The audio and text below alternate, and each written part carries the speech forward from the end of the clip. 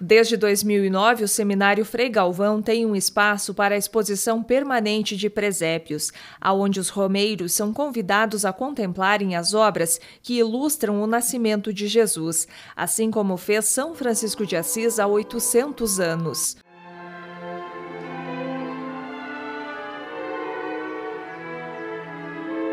O presépio é bem inerente à espiritualidade franciscana, né? Francisco de Assis tem a espiritualidade do presépio, a espiritualidade eucarística e a ressurreição, como nós podemos contemplar na próxima exposição. E essa exposição aqui é especial porque aqui a gente trabalha os 800 anos do primeiro presépio, onde Francisco de Assis, em 1223, pede a seu amigo João de Grécio emprestado uma estrebaria, os animais, e pede aos frades que chamem um casal de esposos jovens com criança pequena, para assim ele ver com os próprios olhos o nascimento de nosso Senhor Jesus Cristo. As peças expostas são atualizadas todos os anos, valoriza artistas de vários países, cada um com a sua particularidade, que revelam o mistério do nascimento de Jesus. E o acervo de presépios da nossa província fica aqui no seminário. Então a gente recebe, né, a sua maioria de doação de romeiros, de peregrinos, de frades que vêm ao, ao Brasil de outras províncias do mundo e trazem, né, os presépios, que é a expressão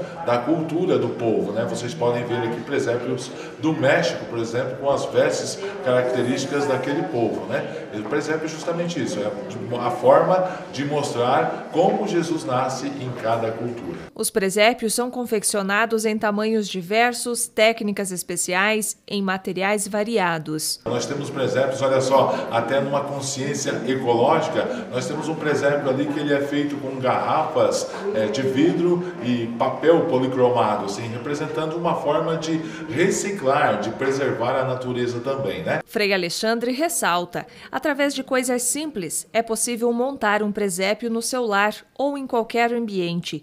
Todos os presépios são importantes, assim como o acervo do Seminário Franciscano de Frei Galvão, que guarda uma grande coleção de presépios de diversas partes do mundo.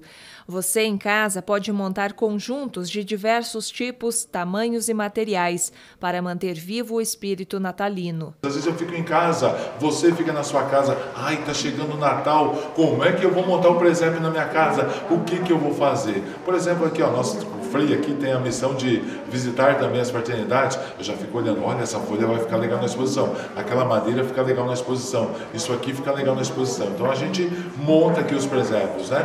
E a gente convida, né, então você que está nos vendo a vir também visitar o Seminário Frei Galvão em Guaratinguetá, essa exposição franciscana permanente de presépios. E que não se perca isso em nossos lares, daqui a pouco já é Natal, que as pessoas se motivem e mantenham o espírito natalino vivo, também colocando um presépio em casa, que isso também faz toda a diferença. Justamente, monte o presépio na sua casa e parafraseando uma letra, uma poesia de Padre Zezinho, né? Quem me dera que o Natal não fosse um dia e que as mães fossem Maria e que os pais fossem José e que os filhos parecessem com Jesus de Nazaré. Que o Natal seja assim todo dia, né? Esse espírito do Natal, essa partilha, essa fraternidade universal, esse bom gosto, essa vontade de ajudar, essa vontade de partilhar, né? Viva intensamente o Natal.